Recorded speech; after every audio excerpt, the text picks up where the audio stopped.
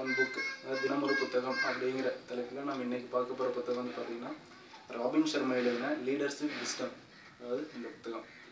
கிட்டத்தட்ட ராபின் சர்மா ஒரு பதிமூணு புத்தகம் பக்கம் எழுதியிருக்காரு. எல்லாம் டாப் மோஸ்ட் டாப் செல்லிங் புத்தகம் தான். எல்லாம் உலக லெவலில் கோடிக்கணக்கில் வித்த புத்தகம் அதில் வந்து பார்த்தீங்கன்னா லீடர்ஷிப் விஸ்டம் அப்படிங்கிற புத்தகத்தை பற்றி நீங்கள் நம்ம பார்க்க போகிறோம் தமிழில் வந்து பார்த்தீங்கன்னா தலைமை பண்பு பற்றிய மெய்யறிவு. தலைமை பண்பு பற்றி மெய்யறிவு. இது நமக்கு தமிழில் எழுதுறது வந்து பார்த்தீங்கன்னா ராஜ்மோகன் அப்படிங்கிறவர் ஒரு ஐஏஎஸ் ஆஃபீஸர் அவர் வந்து பார்த்தீங்கன்னா தமிழில் நமக்கு டிரான்ஸ்லேட் பண்ணி கொடுத்துருக்காரு. இந்த புத்தகம் வந்து பார்த்தீங்கன்னா கிட்டத்தட்ட ஒரு முந்நூற்றம்பது முந்நூற்றறுபது பேஜஸ் இருக்குது இது எதை பற்றி சொல்லியிருக்காங்க அப்படின்னு பார்த்தீங்கன்னா லீடர்ஷிப் டைட்டில் கேட்கும்போது உங்களுக்கு எல்லாம் நல்லா தெரியும். லீடர்ஷிப் ஏன்னா எல்லாம் அதிகமாக நம்ம தொழில் ரீதியாகட்டும் அதான் பிஸ்னஸ் லெவலில் பார்த்தீங்கன்னா அதிகமாக நம்ம கேட்டிருக்கக்கூடிய வார்த்தைகள் அதிகமாக நம்ம பேசக்கூடிய வார்த்தைகள்லாம் பார்த்தீங்கன்னா அந்த லீடர்ஷிப் குவாலிட்டி அதை எப்படி நாம வளர்த்துக்கிறது? அந்த லீடர்ஷிப் மேனேஜ்மெண்ட் அந்த தலைமைத்துவத்தை வந்து எப்படி நாம வளர்த்துக்கிறது? அதை எப்படி அந்த ஸ்கில்லை நம்ம டெவலப் பண்ணிக்கிறது? இதுக்காக தான் பார்த்தீங்கன்னா எல்லாருமே கஷ்டப்பட்டுக்கிட்டு இருக்காங்க. அதை வந்து பார்த்தீங்கன்னா இவர் புத்தக வடிவில் நல்ல அழகாக எடுத்து சொல்லியிருக்காரு. அஹ் பார்த்தீங்கன்னா ஒரு ஸ்டோரி டைப்பில் இருக்கும். பார்த்தீங்கன்னா ரொம்ப அருமையான கருத்துக்கள் வந்து சிறப்பாக சொல்லியிருக்காரு. அதான் அதாவது என்ன சொல்றது? ரொம்ப அஹ், பிரசித்தி பெற்ற புத்தகம் இது. ஏன்னா கோடிக்கணக்கான பிரதிகள் வித்துக்கிட்டு இருக்குது. பல நாடுகளில் கிட்டத்தட்ட அறுபது நாடுகளில் எழுபதுக்கும் மேற்பட்ட லாங்குவேஜில் வந்து பார்த்தீங்கன்னா இது டிரான்ஸ்லேட் பண்ணியிருக்காங்க அந்த புத்தகத்தை. அதனால ரொம்ப சிறப்பான முறையில் சொல்லியிருக்காங்க லீடர்ஷிப் இந்த மேனேஜ்மெண்ட் குவாலிட்டி வந்து எப்படி வளர்த்துக்கிறது. ஏன்னா அது அடித்தட்டு மக்கள்லேருந்து மக்கள்ல இருந்து பார்த்தீங்கன்னா மேலே டாப் மோஸ்ட் அந்த எம்டி லெவல் அப்படின்னு சொல்கிறீங்க இல்லைங்களா? அந்த லெவல் வரைக்கும் இருக்கிற அத்தனை பேருக்குமே காமனாக எந்தெந்த ஸ்கில்லை எப்படி எப்படி வளர்த்துக்கிட்டா அந்த பொசிஷன் வந்து நம்ம அடைய முடியும். ஒவ்வொரு ஸ்டெப் பை ஸ்டெப்பாக நம்ம எப்படி மேலே வர முடியும் முன்னேற முடியும் அப்படின்னு சொல்லி மிக தெளிவாக சொல்லியிருக்காங்க. இந்த புத்தகத்தில் வந்து பார்த்தீங்கன்னா ஒரு கிட்டத்தட்ட ஒரு பன்னிரெண்டு தொகுதிகளாக பிரித்து சொல்லியிருக்காங்க. ஃபர்ஸ்ட் வந்து பார்த்தீங்கன்னா அந்த புத்தகத்தினுடைய ஒரு முக்கியமான ஒரு ரெண்டு கேரக்டர் வந்து எடுத்துக்கிறாங்க. ஃபர்ஸ்ட் கேரக்டர் வந்து பார்த்தீங்கன்னா பீட்டர் பீட்டர் ப்ராங்லிங் அப்படிங்கிற அந்த கேரக்டர் அவர் வந்து பார்த்தீங்கன்னா யாருன்னா அதாவது உலகத்துல நல்ல ஒரு மெச்சூரிட்டியில் இருக்கக்கூடிய ஒரு பெஸ்ட் கம்பெனியில் வந்து ஒரு சாஃப்ட்வேர் கம்பெனியில் அவர் ஒர்க் பண்ணிட்டு இருக்காரு.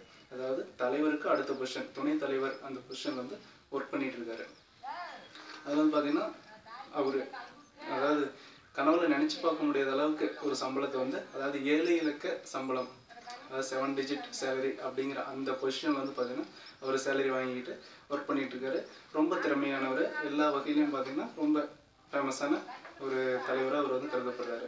அந்த பொசிஷனில் இருக்கக்கூடியவர் வந்து பார்த்தீங்கன்னா கிட்டத்தட்ட ஏழு வருஷம் அந்த கம்பெனி வந்து அப்படியே மேலே கொண்டு போயிட்டு இருக்காரு. அதாவது ஒரு சாதாரண லெவல்லேருந்து ஒரு டாப் லெவலுக்கு வந்து அந்த கம்பெனி கொண்டு போறாரு. அவருக்கு வந்து என்ன ஒரு இன்சிடென்ட் நடந்தது? திடீர்னு பார்த்தீங்கன்னா அந்த லாஸ்ட் டூ இயர்ஸ் வந்து பார்த்தீங்கன்னா அந்த கம்பெனியுடைய அந்த ஒர்க் வெல்த் வந்து பார்த்தீங்கன்னா குறைய ஆரம்பிக்குது. திடீர்னு ஒரு நாள் பார்த்தீங்கன்னா இவர் கூப்பிட்டு உங்களை வேலையை விட்டு தூக்கிடுறோம் அப்படின்னு சொல்லி சொல்கிறாங்க இவருக்கு வந்து என்ன பண்ணுறது அதாவது பீட்டருக்கு வந்து என்ன பண்ணுறதுன்னு தெரியல. உடனே அதாவது எல்லாமே இழந்துட்ட மாதிரி ஒரு ஃபீல் அவர் உடனே அதை பற்றி யோசிச்சுட்டே பார்த்தீங்கன்னா வீட்டுக்கு வர்றாரு. ஒரு ஆறு மாதம் அப்படியே அவருக்கு போகுது. எந்த ஒரு ஒர்க்கும் இல்லை. வீட்டில் வந்து பார்த்தீங்கன்னா காலையில் பதினோரு மணி பன்னெண்டு மணி வரைக்கும் தூங்குறது. இந்த மாதிரியான ஒர்க்கு போய் பண்ணிகிட்டு இருக்காரு என்ன பண்ணுறதுன்னு தெரியாமல் அப்படியே ஒரு பித்து பிடிச்ச மாதிரி இருக்காரு. ஏன்னா ஒரு ச- அருமையான ஒரு பிரசித்தி பெற்ற ஒரு கம்பெனியில் டாப் மோஸ்ட் ஒர்க்கில் பண்ணிகிட்டு இருந்தவர். திடீர்னு அந்த வேலையை விட்டு நீக்கிடுறாங்க. இவருக்கு வந்து என்ன பண்றதுன்னு தெரியல. அந்த மாதிரி ஒரு சுச்சுவேஷன்ல இருக்காரு. அந்த சமயத்துல இவருடைய ஃப்ரெண்ட் வந்து ஒருத்தர் கால் பண்றாரு. அதாவது இவருடைய கல்லூரி தோழர் வந்து ஒருத்தர் கால் பண்றாரு. பீட்டருடைய ஃப்ரெண்டு அவர் கால் பண்ணி அவர் வந்து பாத்தீங்கன்னா அதே சாஃப்ட்வேர்ல வந்து சாஃப்ட்வேர் டெவலப்மெண்ட்ல வந்து பாத்தீங்கன்னா ஒரு நியூவா டெவலப் பண்ற அந்த ப்ரோக்ராமிங் இதுல வந்து பாத்தீங்கன்னா ஒர்க்கிங் பண்ணிட்டு இருக்காரு. இவர் அவர் வந்து கால் பண்ணி பீட்டர் கிட்ட சொல்றாரு. இந்த மாதிரி நான் ஒரு புது ப்ரோக்ராம் வந்து டெவலப் பண்ணி அதை வந்து சொந்தமா ரிலீஸ் பண்ணலான் இருக்கேன் அதுக்கு வந்து உங்களுடைய சப்போர்ட் வந்து வேணும். உங்களுடைய இன்வெஸ்ட்மெண்ட் உங்களுடைய சப்போர்ட் வந்து வேணும் அப்படின்னு சொல்லி கேட்குறாரு பீட்டருக்கு வந்து என்ன சொல்றது அப்படின்னு தெரியல. ஏன்னா ஏற்கனவே ஒரு நல்ல ஒரு வேலையில இருந்து அதை நீக்கிட்டாங்க. இப்போ ஒரு திண்டாடிட்டு இருக்கக்கூடிய ஒரு கஷ்டமான சூழ்நிலையில இருக்காரு. நிறைய செட்டில்மெண்ட் பண்ண வேண்டியது இருக்குது. வருமானத்துக்கு வழி இல்லாமல் இருக்காரு. இந்த மாதிரி சுச்சுவேஷன்ல ஃப்ரெண்டு கூப்பிடும்போது போகலாமா வேணாமா? ஏன்னா இவருக்கு அந்த தலைமைத்துவ பண்பு இருக்கு. அது வந்து இப்போ கொஞ்சம் கம்மியா இருக்கு. அந்த மாதிரி ஃபீல் பண்ணுறாரு சரின்னு முடிவு பண்ணிட்டு ரெண்டு விதமாக யோசிக்கிறார். அப்படின்னா அதாவது போகலாமா இல்லை அந்த பொசிஷனுக்கு வந்து உள்ளே போகாமல் நம்ம இருக்கிறத வந்து வச்சு அட்ஜஸ்ட் பண்ணிக்கலாமா? அப்படின்னு சொல்லி திங்க் பண்ணுறாரு பிறகு வந்து பார்த்தீங்கன்னா அவர் ஃப்ரெண்டோட சேர்ந்து செய்யலாம் அப்படின்னு சொல்லி முடிவு பண்ணிட்டு ஃப்ரெண்டோட சேர்ந்து அந்த புது ப்ரோக்ராம் வந்து டெவலப் பண்ணிட்டு சிறப்பாக பண்ணுறாங்க அது பார்த்தீங்கன்னா ஒரு சாஃப்ட்வேர் கம்பெனி அப்படின்னு சொல்லி டைட்டில் போட்டு ரொம்ப சிறப்பாக செய்கிறாங்க அவங்க எதிர்பார்க்காத அளவுக்கு பயங்கரமாக டெவலப் ஆகிடுறாங்க டெவலப் ஆனதுக்கப்புறம் கிட்டத்தட்ட ஒரு நாலு அஞ்சு வருஷம் ஃபுல்லாக அவங்க கனவுல கூட நினச்சி பார்க்க முடியாத அளவுக்கு ஒரு ஹை பொசிஷனுக்கு போயிடுறாங்க. அவருடைய நண்பர் வந்து பார்த்தீங்கன்னா ஃபுல்லாக இதையும் கவனிச்சுட்டு தலைவர் அவர் பீட்டர் வந்து பார்த்தீங்கன்னா அதாவது அட்வைஸ் அறிவுரை சொல்கிறது இந்த மாதிரியான இது வந்து கவனிச்சிட்டு இருக்காரு. ப்ளஸ் அதனுடைய பார்ட்னர்ஷிப்பில் இருக்காரு. அவருடைய நண்பர் வந்து பார்த்தீங்கன்னா ஒரு குறிப்பிட்ட காலம் வரைக்கும் அந்த தலைவர் பொசிஷனில் இருந்தார். அதுக்கப்புறம் அவர் அந்த பொசிஷனையும் நம்ம பீட்டர்கிட்ட கொடுத்துட்டு அவர் வந்து பார்த்தீங்கன்னா உலகம் அப்படியே சுற்றி பார்க்க கிளம்பிடுறாரு. ஒவ்வொரு நாடுகளுக்காக போயிட்டு அவர் உல்லாசமாக வாழ ஆரம்பிச்சிடுறாரு. இப்போ பீட்டர் வந்து பார்த்தீங்கன்னா அந்த கம்பெனியை அந்த சாஃப்ட்வேர் கம்பெனியை வந்து பார்த்தீங்கன்னா மேலும் சிறப்பாக நடத்திட்டு போயிட்டு இருக்காரு. இப்படி போயிட்டு இருக்கும் வந்து பார்த்தீங்கன்னா அவருக்கு அதில் மேரேஜ் ஆகுது. அது ஃபீல்டில் பார்த்தீங்கன்னா சமந்தா அப்படிங்கிறவங்க வந்து மேரேஜ் பண்ணிக்கிறாங்க. அவங்களுடைய லைஃப் நல்லா போயிட்டு இருக்குது இப்படி போயிட்டு இருக்கும்போது பார்த்தீங்கன்னா ஒரு குறிப்பிட்ட காலத்துக்கு அப்புறம் அந்த கம்பெனி எம்ப்ளாயிஸ் வந்து பார்த்தீங்கன்னா அவங்களுக்குள்ள நிறைய சண்டை சச்சரவுகள் இந்த மாதிரி அந்த அதாவது ஃபர்ஸ்ட் வந்து பார்த்தீங்கன்னா ஒரு கம்பெனிக்கு ஒரு ஆர்டர் வருது அதை கம்ப்ளீட் பண்ணோம் அப்படின்னா இரவு நேரங்களில் கூட இருந்து அதை முடிச்சு கொடுத்துட்டு போனவங்க எம்ப்ளாயிஸ் வந்து பார்த்தீங்கன்னா இப்போ எப்படி ஆயிட்டாங்கன்னா எப்போ டைம் முடியும் எப்போ வெளியே போகலாம் அந்த மாதிரி ஒரு மனநிலைக்கு வந்து வந்துட்டாங்க. இதுக்கு என்ன காரணம் அப்படின்னு யோசிக்கும்போது அந்த பீட்டர் அந்த தலைவரினுடைய அந்த தலைமைத்துவத்தில் ஏதோ மிஸ்டேக் இருக்குது அவர் வந்து கொஞ்சம் முன்கோபக்காரராக இருக்காரு. இந்த மாதிரி அவர் சில ஒரு சில மாற்றங்களால் பார்த்தீங்கன்னா அவர் வந்து அந்த நிலையிலிருந்து கொஞ்சம் கீழே இறங்கிட்ட மாதிரி ஒரு ஃபீல் கம்பெனி எம்ப்ளாயிஸ்லாம் வந்து பார்த்தீங்கன்னா ஒரு திருப்தியாக உணரல. ஏதோ கடமைக்கு வந்துட்டு போகிற மாதிரி போகிறாங்க இந்த மாதிரி சமயத்தில் வந்து பார்த்தீங்கன்னா கம்பெனியுடைய அந்த பொருளாதாரம் வந்து சரியை தொடங்குது. அதாவது நல்ல ஒரு மார்க்கெட்டிங் உலகம் ஃபுல்லாக நல்ல ஒரு மார்க்கெட்டிங் இருந்தும் மார்க்கெட் போயிட்டு இருந்தோம் இப்போ அவங்க கம்பெனி வந்து திருப்திகரமாக இல்லை அப்படிங்கிற ஒரு சுச்சுவேஷனுக்கு வந்து வராரு. இந்த மாதிரி சமயத்தில் அந்த கம்பெனியுடைய போர்டு மீட்டிங் நடக்குது. அந்த போர்டு மீட்டிங்கில் வந்து பார்த்தீங்கன்னா பீட்டர் வந்து மற்ற தலைவர் துணைத் தலைவர் அந்த மேனேஜர்ஸ் எல்லாம் பேசும்போது பார்த்தீங்கன்னா ரொம்ப விரக்தியாக பேசுகிறாங்க நமக்கு வந்து மேலிட அதாவது அந்த ஹையர் பொசிஷன் வந்து நமக்கு கரெக்டாக இல்லை. அதனால எம்ப்ளாயிஸ் எல்லாம் பார்த்தீங்கன்னா ஒரு அசௌகரியமாக உணர்றாங்க. சரியாக வேலை செய்கிறதில்ல முன்ன மாதிரியான கம்பெனி ரன்னிங் ஆகிறதில்ல. இந்த மாதிரி நிறைய குறைபாடுகள் சொல்கிறாங்க அந்த குறைபாடுகள் எல்லாம் குறிப்பிட்ட ஒரு ஆள் மேலே தான் யாருன்னா கம்பெனியின் தலைமை பொறுப்பில் இருக்கக்கூடிய பீட்டர் ஃப்ராங்க்லின் மேலே தான் அந்த குற்றச்சாட்டு அத்தனையும் வைக்கிறாங்க.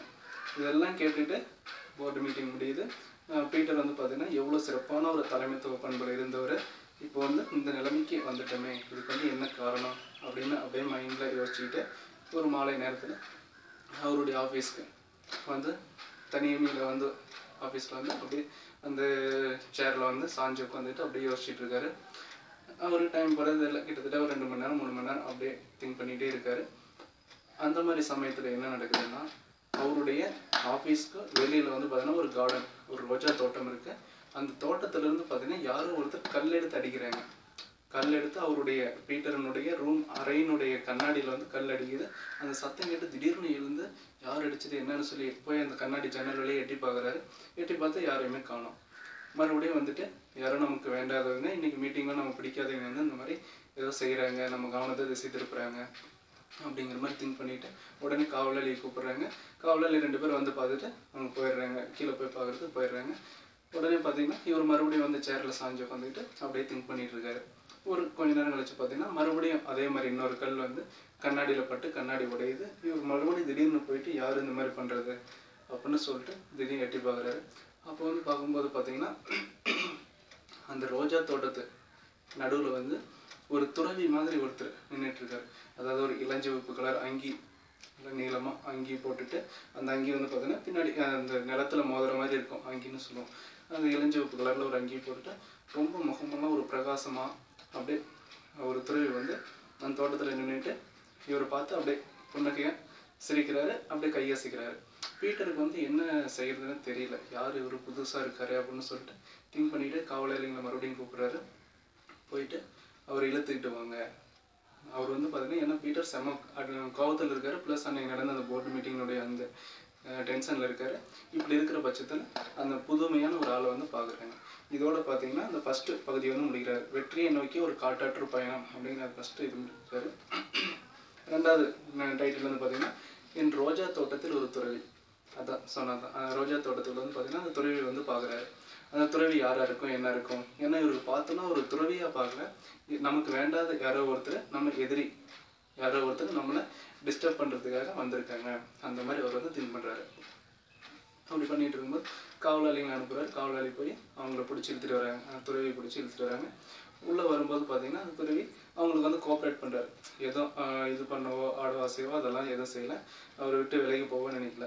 அந்த காவலாளிகளுக்கு வந்து கோஆப்ரேட் பண்ணுறாரு அந்த காவலாளி வந்து ஒருத்தர் கையை பிடிச்சி இழுத்துட்டு வந்து அவர் முன்னாடி வந்து நிறுத்துறாரு. அவர் நிறுத்தினோன்னு பார்க்கும்போது அவர் கீழே ரோஜா தோட்டத்தில் இருக்கும்போது அப்படி எப்படி புன்னகையா சிரிச்சாரோ அதே மாதிரி பீட்டர்னுடைய அந்த அறைக்குள்ளே வந்ததுக்கு அப்புறமும் அதே மாதிரி புன்னகையாக சிரிச்சுக்கிட்டு hello Peter how are you அந்த மாதிரி கேட்குறாரு எப்படி இருக்கீங்க? நல்லா இருக்கீங்களா? அந்த மாதிரி கேட்குறாரு பீட்டருக்கு என்ன செய்யறதுன்னே தெரியல. பீட்டர் வந்து இப்படி திங்க் பண்ணுறாரு ஒருவேளை நம்ம அந்த லீடர்ஷிப் குவாலிட்டி வந்து கொஞ்சம் டிக்ரீஸ் ஆனதுனால அதுக்கு வந்து பார்த்தீங்கன்னா நிறைய கம்பெனிஸ் இருக்கு இல்லைங்களா?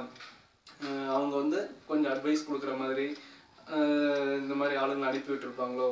ஏன்னா அவங்களுக்கு வந்து பார்த்தீங்கன்னா அந்த ஒரு ப்ராஜெக்ட் மாதிரி பண்ணுவாங்க. ஒரு கம்பெனி ரொம்ப லோ லெவலில் போயிட்டு இருக்குன்னா டக்குன்னு ஒரு சில தீர்வு ஒரு சில முடிவுகளை கொடுத்து அந்த கம்பெனி கொஞ்சம் மேலே கொண்டு வருது.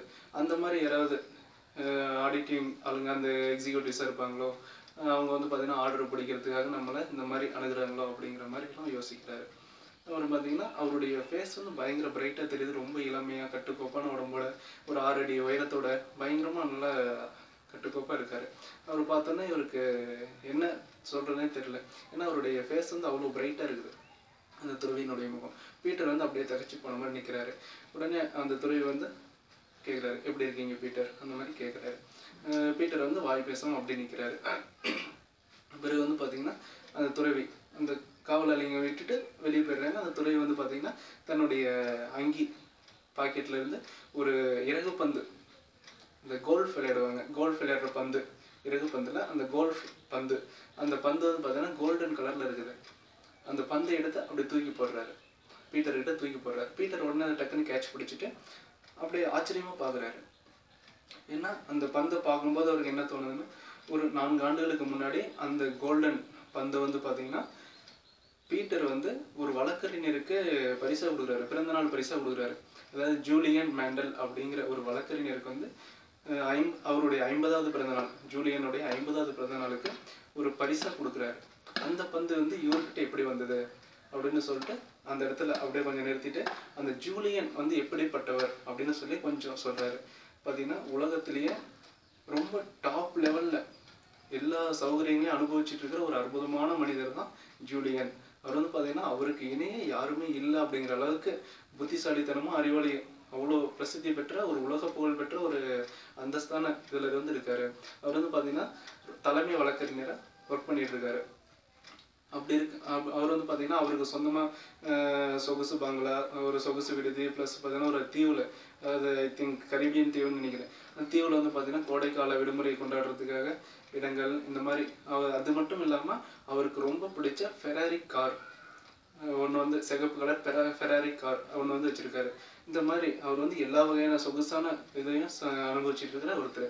அப்படிப்பட்டவர் வந்து பார்த்தீங்கன்னா கோல்ஃப் விளையாட்டு மூலயமா ஜூலியன் வந்து இவருக்கு பீட்டருக்கு வந்து நண்பராகிறாரு அந்த நண்பருக்கு வந்து பீட்டர் ஜூலியனுடைய ஐம்பதாவது பிறந்த நாளுக்கு அந்த பந்து கோல்ஃப் பந்து வந்து பார்த்தீங்கன்னா பரிசாக கொடுக்குறாரு. அந்த பந்து வந்து இப்போ அந்த துறவிக்கிட்ட இருந்து கிடைக்கும் போது ஆச்சரியமாக பார்க்குறாரு. ஏன்னா ஜூலியன் வந்து பார்த்தீங்கன்னா கடந்த நான்கு ஆண்டுகளுக்கு முன்னாடியே அதாவது நான் அந்த ஐம்பதாவது பிறந்த நாள் முடிஞ்சு ஒரு ஒன் ஆர் டூ இயர்ஸில் பார்த்தீங்கன்னா அவருக்கு திடீர்னு ஒரு ஹார்ட் அட்டாக் வருது. அதில் வந்து பார்த்தீங்கன்னா அவர் உயிர் பிழைச்சதே பெரிய விஷயம் அப்படிங்கிற லெவலுக்கு போயிட்டு ஏன்னா அவர் அவ்வளோ சொகுசா வாழ்ந்துட்டு இருந்தார். நிறைய கிளப்பு பார்ட்டி ட்ரிங்க்ஸ் இந்த மாதிரி வாழ்ந்துட்டு இருந்தார். திடீர்னு அவருடைய அந்த ஹார்ட் அட்டாக் அந்த இது வந்து பார்த்தீங்கன்னா அவரை சாகுற வரைக்கும் அந்த இறப்பு வரைக்கும் கொண்டு போயிட்டு மீட்டு கொண்டு வந்திருக்கு. அது மீண்டு வந்ததுக்கு அப்புறம் அவர் வந்து பார்த்தீங்கன்னா என்ன ஆச்சு அப்படின்னே தெரியல. ஏன்னா திடீர்னு அவருடைய சொத்துக்கள் அத்தனையும் வித்துட்டாரு. அஹ் மீண்டு வந்த அடுத்த நாளே பார்த்தீங்கன்னா அந்த வழக்கறிஞர் பதவி வந்து ரிசைன் பண்ணுறதா அனௌன்ஸ் பண்றாரு. இதை விட பார்த்தீங்கன்னா அவருக்கு தன்னுடைய உயிரினும் மேலே மதிச்சிட்டு இருந்த அந்த ஃபெராரி கார் அதையும் வித்துட்டு ஏதோ ஒரு இடத்துக்கு போறேன் அப்படின்னு சொல்லிட்டு போயிடுறாரு. அவர் வந்து பாத்தீங்கன்னா இந்தியாவை நோக்கி நான் வந்து போறேன். எதுக்காக அப்படின்னு சொன்னா ஏன்னா இவர் வந்து ஃபாரின் ஆத்தர் ராபின் சர்மா வந்து பாத்தீங்கன்னா ஒரு பிறந்தது இந்தியா இப்போ இருக்கிறது வந்து பாத்தீங்கன்னா அமெரிக்காவில் இருக்காரு. இந்த ஸ்டோரி வந்து பாத்தீங்கன்னா அமெரிக்கன் அந்த இது பேஸ் பண்ணி எழுதப்பட்ட ஒரு கதை. அந் அங்க வசிக்கக்கூடியவர் தான் ஜூலியன் அப்படிங்கிற கேரக்டரும் அந்த ஜூலியன் வந்து பார்த்தீங்கன்னா எல்லா சொத்துக்களையும் வித்துட்டு எல்லாத்தையும் துறந்துட்டு இந்தியாவை நோக்கி போகிறேன் ஏதோ ஒரு தேடல் அதை வந்து தேடி நான் போகிறேன் அப்படின்னு சொல்லிட்டு கிளம்புறாரு. இதுதான் அவரை பற்றின கடைசியாக அவருக்கு வந்து தகவல்கள். பீட்டருக்கு கிடைச்ச தகவல். அவர் வந்து எங்கேயோ போயிட்டார். இந்தியாவை நோக்கி போயிட்டார் பயணம் அப்படின்னு மட்டும்தான் தெரியும். இப்போ அந்த பந்து ஜூலியன் கிட்ட கொடுத்த பந்து துறவிக்கிட்ட இருந்து கிடைக்கும் போது இதெல்லாம் அப்படியே மனசுக்குள்ள நினைச்சு பார்க்குறாரு நினைச்சு பார்த்து திடீர்னு இந்த பந்து எப்படி உங்களுக்கு கிடைச்சது? அந்த துறவி கிட்ட கேட்குறாரு அந்த துறவி வந்து சொல்றாரு நீங்கள் கொடுத்தது தான் அப்படின்னு சொல்கிறாரு உடனே பீட்டர் வந்து பார்த்தீங்கன்னா நான் இதை ஜூலியன் மேண்டல் கிட்ட கொடுத்த ஒரு அற்புதமான மனிதர். அவர் இப்போ எங்கே இருக்கார் எப்படி என்ன செய்கிறாருன்னு சொல்லி எதுவும் தகவல் தெரியல அப்படின்னு சொல்லிட்டு கொஞ்சம் அவருக்கு ரிலாக்ஸ் ஆகுது. ஏன்னா நமக்கு எதிரியான ஆள் இல்லை.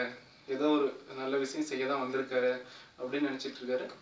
உடனே வந்து அந்த துறவி வந்து சொல்கிறாரு இப்போ நீங்கள் வந்து ஒரு இக்கட்டான சூழ்நிலையில் இருக்கீங்க. உங்களுக்கு உதவி செய்கிறது என்னுடைய அதாவது உனக்கு உங்களுக்கு உதவி செய்ய வேண்டியது என்னுடைய கடமை அப்படின்னு சொல்லிட்டு சொல்லி பீட்டர் சொல்கிறாரு பீட்டர் வந்து அப்படியே திகைப்படி நிற்கிறாரு அதுக்கப்புறம் கொஞ்சம் அசுவாசப்படுத்திக்கிட்டு உடனே அந்த துறவி வந்து மேற்கொண்டு பேச ஆரம்பிக்கிறார். அவர் புன்சிரிப்போடு அந்த பிரைட்னஸோட பேசுகிறார் அவர். மறுபடியும் அவர் வந்து பீட்டர் பீட்டர் ப்ராங்லின் அப்படின்னு சொல்லி அவர் முழு பேரை சொல்லி எப்படி இருக்கீங்க? என்ன செய்கிறீங்க அதாவது அவரை பற்றின நலம் வந்து விசாரிக்கிறாரு.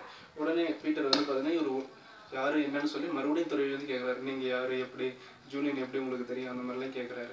உடனே அந்த துறை வந்து சொல்றாரு உங்களுடைய நண்பர் தான் நான். நான் தான் ஜூலியன் மேண்டல் அப்படின்னு சொல்றாரு. பீட்டரெல்லாம் நம்ப முடியல. ஏன்னா ஜூலியன் வந்து பாத்தீங்கன்னா அந்த ஐம்பது ஐம்பத்தி ரெண்டு வயது அப்போ பாத்தீங்கன்னா ரொம்ப வயசான மாதிரி கிட்டத்தட்ட எழுபது எழுபத்தஞ்சு வயதான ஒரு மாதிரி தோற்றம் கொண்டு இருந்தாரு. இப்போ வந்து பாத்தீங்கன்னா இவரை பார்த்தா ஒரு முப்பத்தஞ்சு நாற்பது வயசு இருக்கிற மாதிரி தான் தெரியுது. இவ்வளோ இளமையா இருக்கிறீங்க நீங்க எப்படி ஜூலியன் அப்படின்னு சொல்றீங்க அப்படின்னு சொல்லி அவரை நம்ப முடியல. உடனே அந்த துறை வந்து பார்த்தீங்கன்னா அவர் அமர சொல்லிட்டு இவரும் பக்கத்தில் உட்காந்துட்டு அவருடைய இளமை காலத்துலேருந்து அந்த வழக்கறிஞர் தொழிலில் உள்ள வந்ததுக்கப்புறம் அவருடைய ஹார்ட் அட்டாக் நடந்ததுலேருந்து மறுபடியும் அவர் இந்தியா நோக்கி பயணம் போன வரைக்கும் எல்லா ஸ்டோரியும் சொல்கிறாரு இதெல்லாம் சொன்னதுக்கப்புறம் பீட்டர் ஓரளவுக்கு நம்புகிறாரு இதோட அதை வந்து நிறுத்துறாங்க.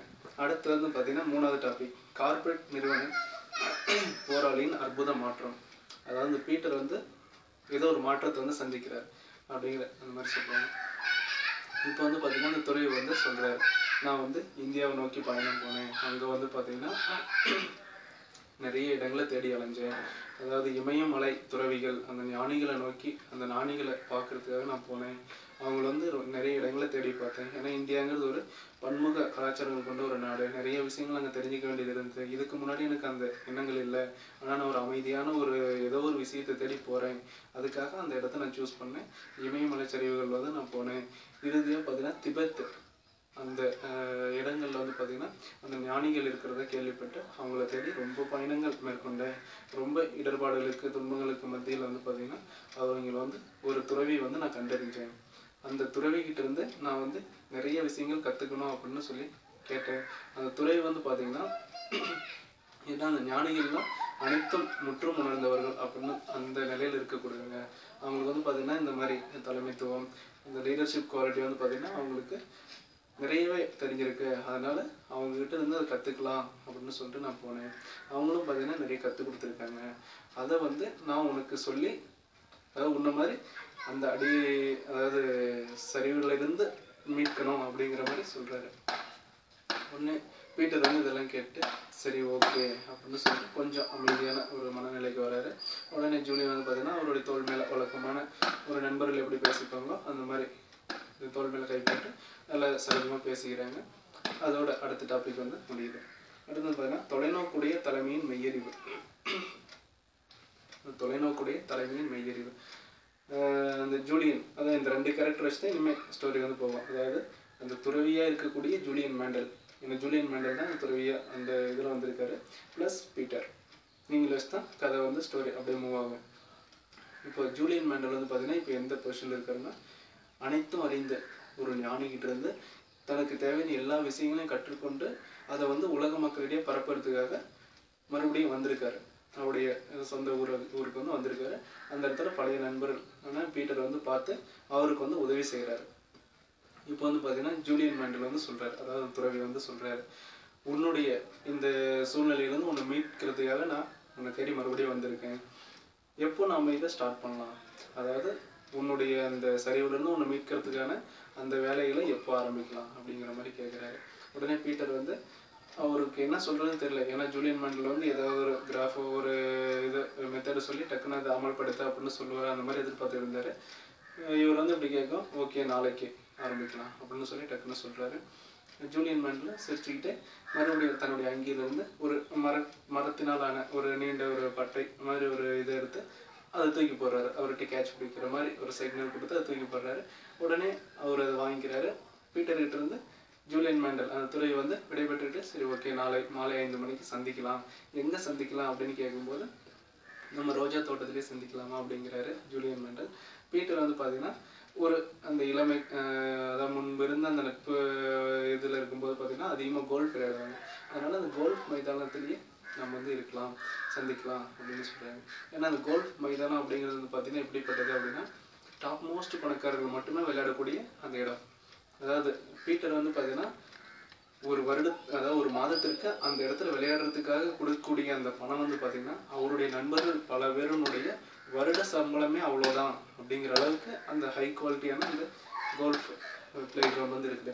அந்த இடத்துலயே நம்ம சந்திக்கலாம் அப்படின்னு சொல்லிட்டு பீட்டர் சொல்கிறாரு ஜூலியன் மேண்டல் ஓகே அப்படின்னு தலையசிட்டு மறுபடியும் ஒரு புன்சிரி கூட கிளம்புறாரு. அவர் கிளம்பி போன தூரம் பார்த்தீங்கன்னா கொஞ்சம் தூரம் போகிறாரு அதுக்கப்புறம் அவர் திடீர்னு மறைஞ்சிடுறாரு. அப்படி அது மறைஞ்சதுக்கப்புறம் மறுபடியும் இவர் வந்து பார்த்தீங்கன்னா அந்த கையில் இருக்கக்கூடியதை எடுத்து பிரித்து பார்க்குறாரு பார்த்தோம்னா ஒரு பொம்மை மட்டும் தெரியுது. ஏதோ எழுதியிருக்கு அது அவருக்கு தெளிவாக தெரியல.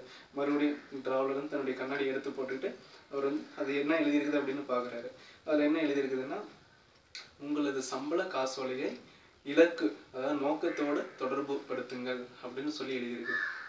சம்பள காசோலையை இலக்கோடு தொடர்புபடுத்துங்கள் அப்படின்னு சொல்லி சிறு எழுத்துல எழுதியிருக்குது. அதோட பார்த்தீங்கன்னா அந்த டாபிக் வந்து முடிக்கிறாரு அதுக்கப்புறம் அடுத்த நாள் அஞ்சு மணிக்கு சந்திச்சு அவங்க என்ன பேசிக்கிறாங்க? ப்ளஸ் ஜூலியன் மேண்டல் வந்து அந்த சரிவுல இருக்கக்கூடிய பீட்டருடைய கம்பெனிஸ் வந்து மறுபடியும் மீட்டு கொண்டு வரதுக்கு எந்த மாதிரியான லீடர்ஷிப் குவாலிட்டிஸ் வந்து அவருக்கு டீச் பண்ணுறாரு இந்த மாதிரி விஷயங்கள் வந்து பார்த்தீங்கன்னா இனிமேல் வரக்கூடிய விஷயங்கள். ஏன்னா இது வரைக்கும் பார்த்தது காமனாக அவங்களுக்குள்ள நடந்த ஒரு கான்வர்சேஷன் இப்போ வந்து அந்த ஜூலியன் மேண்டல் அந்த துறவி வந்து பார்த்தீங்கன்னா எந்த மாதிரியான விஷயங்கள்லாம் அவர் கற்றுக் கொடுத்து அவருடைய கம்பெனியை அவர் வந்து டெவலப் பண்ணி அந்த லீடர்ஷிப் குவாலிட்டி வந்து டெவலப் பண்ணுறாரு அப்படிங்கிறது தான் இனிமேல் புத்தகம் ஃபுல்லாக சொல்லக்கூடியது. மிக அற்புதமாக இருக்கும். இது அடுத்த பார்ட்டில் நாம் பார்ப்போம். நன்றி வணக்கம்.